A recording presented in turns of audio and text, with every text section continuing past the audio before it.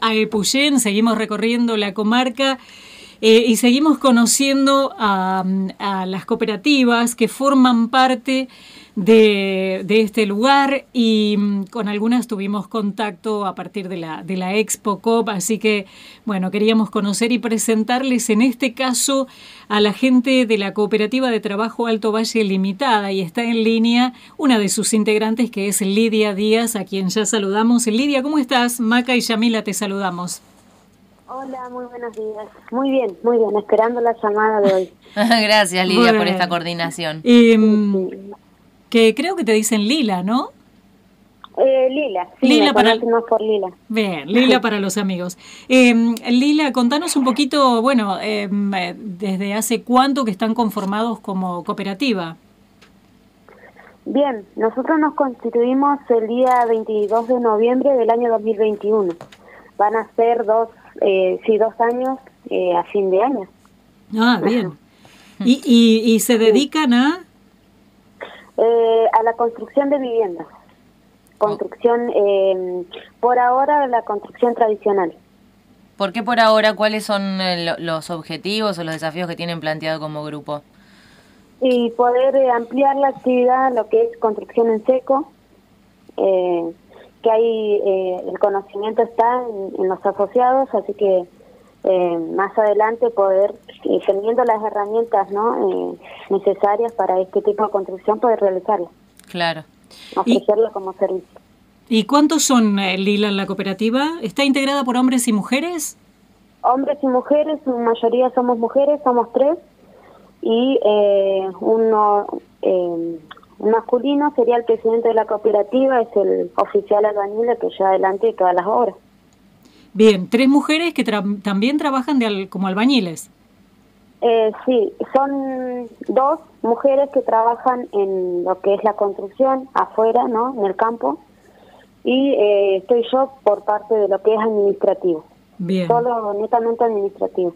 Claro. Eh, ¿Y por ahora están construyendo solo en Epuyén?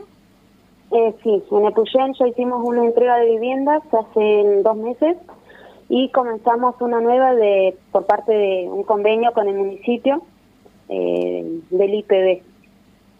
Bien. ¿Cómo es? ¿A través del Instituto de la Vivienda? Claro, sí, sí, mediante un convenio con el municipio también. Ah, o sea, interviene el municipio, el IPB y la cooperativa. Claramente, sí, sí. Mira. Así es. Eh, bueno, y las chicas, las dos que trabajan hace rato que, que se dedican a la albañilería.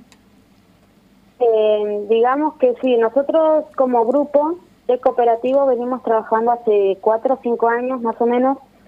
Eh, nacimos de lo que es eh, la organización social MT que está funcionando acá en Ecuyén y este, nos, nos constituimos como grupo de construcción. Al principio comenzamos con trabajos solidarios eh, en construcción, por lo que trabajábamos también con, con el municipio, que ellos tenían lo que es el material, pero no tenían la, para hacer la mano de obra, entonces nosotros aportábamos en esa parte, la mano de obra sin, sin cobrar nada y este trabajábamos con los solidarios. Empezamos con eso en la época de pandemia. Eh, después nos, eh, con entre medio, digamos, por medio de lo que es la organización, se consiguió la construcción de una de las viviendas y por esa razón eh, teníamos la, necesidad de, de, constituirnos como cooperativa, porque para eh, hacer la construcción de una vivienda necesitábamos este, una facturación a, a nombre de alguien que esté esa construcción. Claro pero nosotros eh, no podíamos porque cobramos, tenemos el beneficio nacional de lo que es el potenciar trabajo. Eh, si alguno de nosotros nos hacíamos monotributista para poder facturar esa vivienda, eh, quedábamos fuera del beneficio. Entonces, eh, lo que nos planteaban, nos decían que podíamos formarnos como cooperativa sin, sin que ese beneficio cayera y poder este, también hacer crecer la cooperativa, ¿no? Sin, sin salir de ese objetivo que es lo social. O sea, continuaron haciendo construcciones solidarias eh, y también buscando cumplir una demanda que había de construcción en Epuyén con trabajos, obviamente, que les permitieran a ustedes un ingreso económico. Claro, sí, sí, continuamos con los trabajos sociales. Eh, fuimos, eh, a ver, hace dos semanas se construyó un, eh, un tanque australiano en lo que es la zona del código. Se fue a hacer allá un trabajo solidario también. Bien. Em, una temporada difícil esta para, para trabajar, digo, por las condiciones climáticas. ¿Eso cómo lo soluciona, Lela? Y en realidad estamos pendientes de cuando haya un día lindo salir a trabajar. Así es. Ahora en este tiempo hasta construir bueno las paredes, el techo y bueno ahí y poder trabajar adentro. El techo ya trabajas adentro. Claro. En este momento cuántas obras tienen en marcha? Eh, no, por ahora una sola. Una sola. Una sola, sí, y cuando salen los trabajos sociales acudimos ahí, tenemos el día viernes destinado a esos trabajos. Eh, ¿Las mujeres que integran la cooperativa son jefas de hogar también, además? Eh, sí, sí, sí, sí. Bueno, qué, qué orgullo. la idea también es después, con, con el tema de la expo, entregamos un proyecto para poder conseguir un espacio para la cooperativa, desde ahí ampliar la actividad y poder este, sumar más socios, que en la mayoría son mujeres acá en Epuyén. Eh, por lo general el, el hombre tiene su trabajo ahí en construcción, entonces apuntamos a que las mujeres puedan tener un, un lugar, un ingreso extra, ¿no? Tal cual. Eh, con este, que la cooperativa no sea una fuente de trabajo también para mantener a sus familias, fundamental. Em, ¿Cómo hacen con el tema de, los planos, eh, las instalaciones? ¿Eso también lo hace todo la cooperativa? Eh, sí, lo que es este instalación de gas, eso ya se necesita un matriculado, así que lo hace otra persona. Sí, pero después es todo, todo, todo lo hace los asociados de la cooperativa. Bueno, vi una grande que habían terminado y habían entregado, eh, preciosa. Vi en las fotos que, que expusieron justamente allí el, eh, la, la, semana anterior, en la expo, claro. Claro, sí. Sí, sí. Ahí se, el, con la vivienda estuvimos un año en, con esa vivienda, un plazo de un año, así que la pudimos eh, terminar y entregar en tiempo y forma. Eh, esa, en, el caso de esa vivienda que ya entregaron y que bueno ustedes pueden mostrar y que la gente puede ir a ver si, si quiere contratar a la cooperativa para construir su vivienda, ¿en ese caso trabajaron directamente con el propietario, con el dueño?